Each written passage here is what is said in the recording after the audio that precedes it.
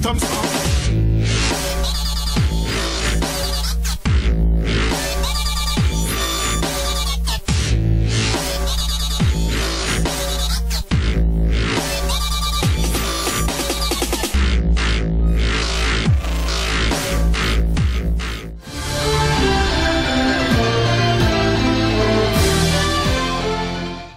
Nesse final de semana, dias 28 e 29 de janeiro de 2017, ocorrerá o sexto encontro de canoagem em Tapes.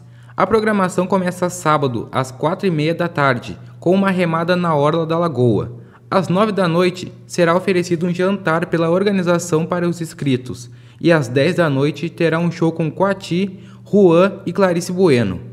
No domingo, às 8 da manhã, os inscritos receberão café da manhã oferecido pela organização. Às 9 da manhã, regata para treinamento. E às 11 da manhã, remada livre entre os participantes. E para encerrar, terá almoço do quilo e entrega da premiação da regata.